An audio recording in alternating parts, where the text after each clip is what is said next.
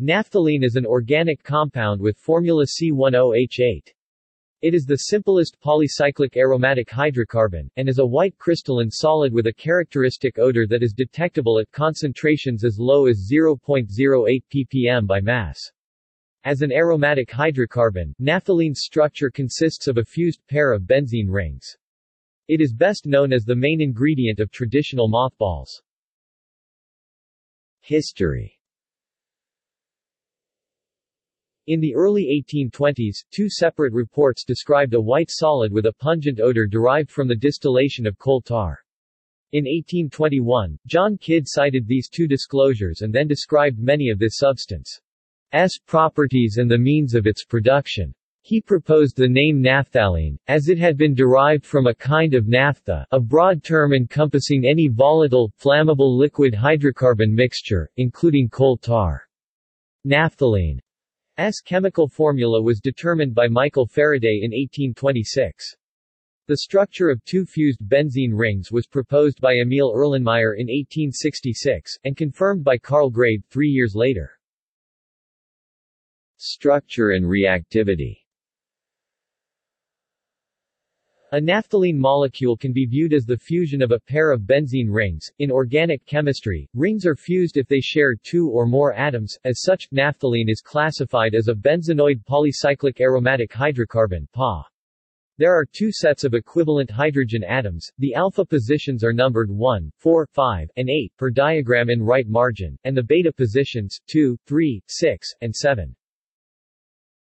Unlike benzene, the carbon-carbon bonds in naphthalene are not of the same length. The bonds C1-C2, C3-C4, C5-C6 and C7-C8 are about 1.37 a 137 pm in length, whereas the other carbon-carbon bonds are about 1.42 a 142 pm long.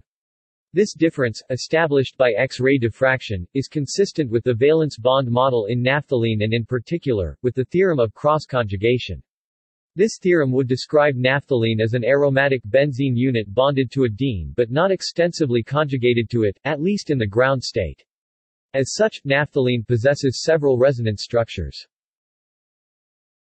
Two isomers are possible for mono-substituted naphthalenes, corresponding to substitution at an alpha or beta position.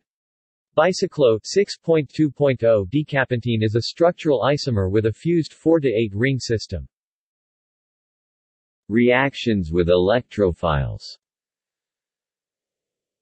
In electrophilic aromatic substitution reactions, naphthalene reacts more readily than benzene. For example, chlorination and bromination of naphthalene proceeds without a catalyst to give one chloronaphthalene and one bromonaphthalene, respectively.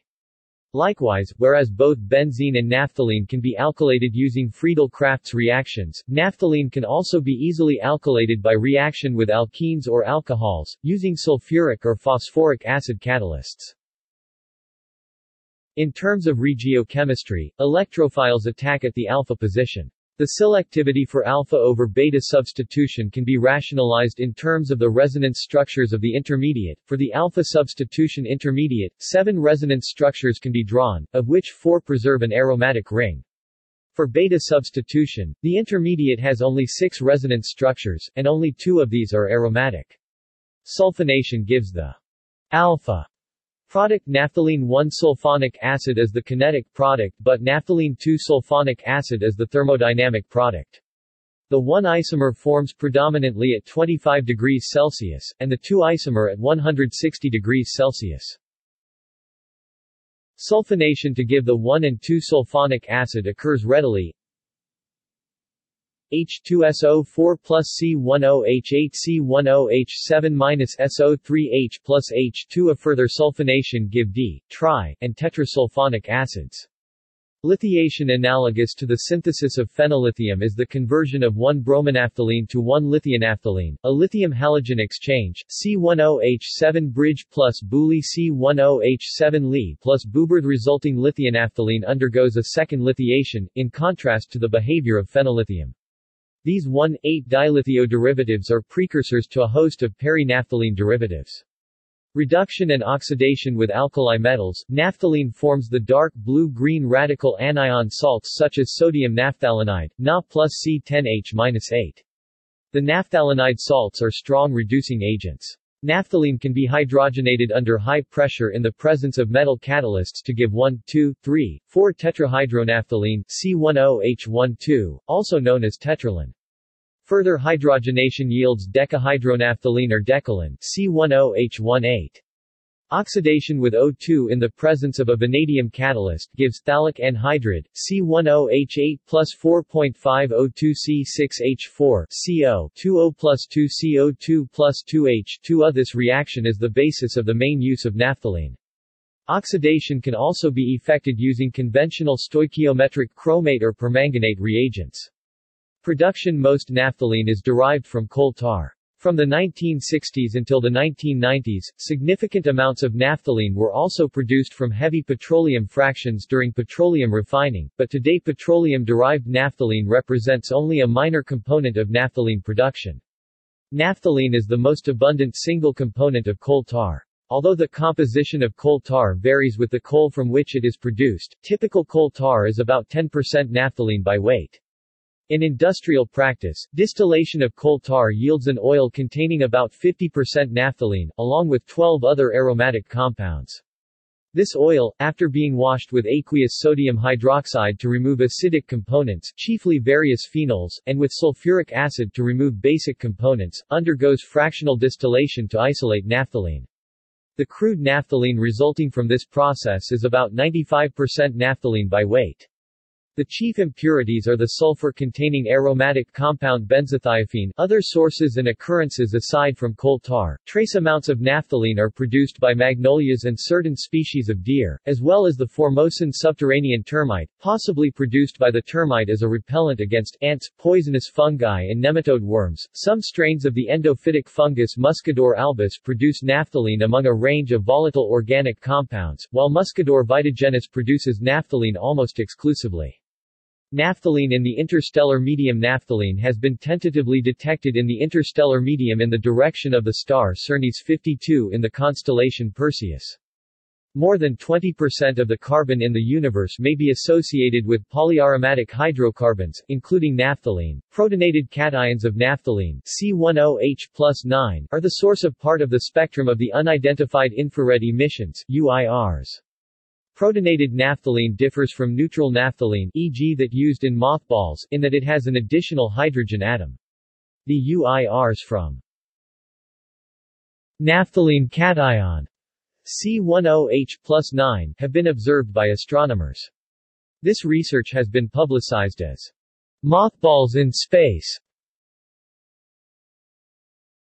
Uses Naphthalene is used mainly as a precursor to other chemicals. The single largest use of naphthalene is the industrial production of phthalic anhydride, although more phthalic anhydride is made from O-xylene. Many azo dyes are produced from naphthalene, and so is the insecticide 1-naphthyl N-methyl carbamate carbaryl. Other useful agrochemicals include naphthoxyacetic acids. Naphthalene acids and sulfonates Many naphthalene-sulfonic acids and sulfonates are useful. Alkyl naphthalene sulfonate or surfactants, the aminonaphthalene-sulfonic acids, naphthalenes substituted with amines and sulfonic acids, are intermediates in the preparation of many synthetic dyes. The hydrogenated naphthalenes tetrahydronaphthalene tetralin and decahydronaphthalene decalin are used as low-volatility solvents. Naphthalene sulfonic acids are also used in the synthesis of 1-naphthol and 2-naphthol, precursors for various dyestuffs, pigments, rubber processing chemicals and other chemicals and pharmaceuticals. Naphthalene sulfonic acids are used in the manufacture of naphthalene sulfonate polymer plasticizers, dispersants, which are used to produce concrete and plasterboard, wallboard or drywall. They are also used as dispersants in synthetic and natural rubbers, and as tanning agents in leather industries, agricultural formulations, dispersants for pesticides, dyes and as a dispersant in lead-acid battery plates. Naphthalene sulfonate polymers are produced by treating naphthalene-sulfonic acid with formaldehyde, followed by neutralization with sodium hydroxide or calcium hydroxide. These products are commercially sold in solution, water, or dry powder form. Laboratory uses Molten naphthalene provides an excellent solubilizing medium for poorly soluble aromatic compounds. In many cases it is more efficient than other high-boiling solvents, such as dichlorobenzene, benzonitrile, nitrobenzene and durene. The reaction of C60 with anthracene is conveniently conducted in refluxing naphthalene to give the 1-to-1 Diels-Alder adduct. The aromatization of hydroporphyrins has been achieved using a solution of DDQ in naphthalene. Wetting agent and surfactant Alkyl naphthalene sulfonates ANS are used in many industrial applications as non-detergent wetting agents that effectively disperse colloidal systems in aqueous media. The major commercial applications are in the agricultural chemical industry, which uses ANS for wettable powder and wettable granular, dry flowable formulations, and the textile and fabric industry, which utilizes the wetting and defoaming properties of ANS for bleaching and dyeing operations. As a fumigant Naphthalene has been used as a household fumigant. It was once the primary ingredient in mothballs, although its use has largely been replaced in favor of alternatives such as 1,4-dichlorobenzene. In a sealed container containing naphthalene pellets, naphthalene vapors build up to levels toxic to both the adult and larval forms of many moths that attack textiles. Other fumigant uses of naphthalene include use in soil as a fumigant pesticide, in attic spaces to repel animals and insects, and in museum storage drawers and cupboards to protect the contents from attack by insect pests. Naphthalene is a repellent to opossums. Other uses It is used in pyrotechnic special effects such as the generation of black smoke and simulated explosions. It is used to create artificial pores in the manufacture of high-porosity grinding wheels. In the past, naphthalene was administered orally to kill parasitic worms in livestock. Naphthalene and its alkyl homologs are the major constituents of creosote. Naphthalene is used in engineering to study heat transfer using mass sublimation. Health effects Exposure to large amounts of naphthalene may damage or destroy red blood cells, most commonly in people with the inherited condition known as glucose 6-phosphate dehydrogenase G6PD deficiency, which over 400 million people suffer from. Humans, in particular children, have developed the condition known as hemolytic anemia, after ingesting mothballs or deodorant blocks containing naphthalene. Symptoms include fatigue, lack of appetite, restlessness, and pale skin. Exposure to large amounts of naphthalene may cause confusion, nausea, vomiting, diarrhea, blood in the urine, and jaundice yellow coloration of the skin due to dysfunction of the liver. The U.S. National Toxicology Program NTP, held an experiment where male and female rats and mice were exposed to naphthalene vapors on weekdays for two years. Both male and female rats exhibited evidence of carcinogenesis with increased incidences of adenoma and neuroblastoma of the nose. Female mice exhibited some evidence of carcinogenesis based on increased incidences of alveolar and bronchiolar adenoma of the lung, while male mice exhibited no evidence of carcinogenesis. The International Agency for Research on Cancer IARC classifies naphthalene as possibly carcinogenic to humans and animals, Group 2b. The IARC also points out that acute exposure causes cataracts in humans, rats, rabbits, and mice, and that hemolytic anemia described above can occur in children and infants after oral or inhalation exposure or after maternal exposure during pregnancy. Under California's Proposition 65, naphthalene is listed as known to the state to cause cancer. A probable mechanism for the carcinogenic effects of mothballs and some types of air fresheners containing naphthalene has been identified. Regulation U.S. government agencies have set occupational exposure limits to naphthalene exposure. The Occupational Safety and Health Administration has set a permissible exposure limit at 10 ppm 50 mg per cubic meter over an 8-hour time-weighted average. The National Institute for Occupational Safety and Health has set a recommended exposure limit at 10 ppm 50 mg per cubic meter over an 8-hour time-weighted average, as well as a short-term exposure limit at 15 ppm 75 mg per cubic meter. Mothballs and other products containing naphthalene have been banned within the EU since 2008. In China, the use of naphthalene in mothballs is forbidden. Danger to human health and the common use of natural camphor are cited as reasons for the ban. Naphthalene derivatives The partial list of naphthalene derivatives includes the following compounds.